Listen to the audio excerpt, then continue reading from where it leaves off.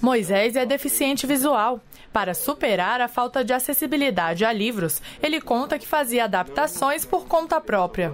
Para eu ter acesso, eu necessitava sempre do auxílio de pessoas que liam os livros para mim.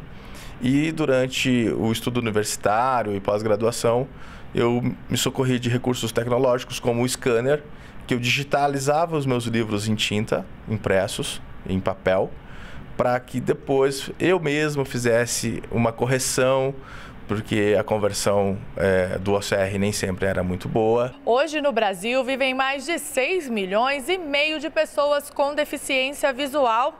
Os dados são do último censo do IBGE.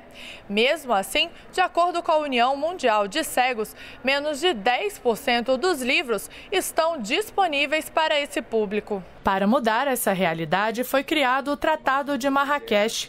O objetivo é ampliar o acesso às obras para pessoas com deficiência visual ou dificuldades para ler texto impresso. Ele eh, disponibiliza o acervo não só produzido dentro do país, mas todo o acervo produzido naqueles outros países que já integram o Tratado de Marrakech.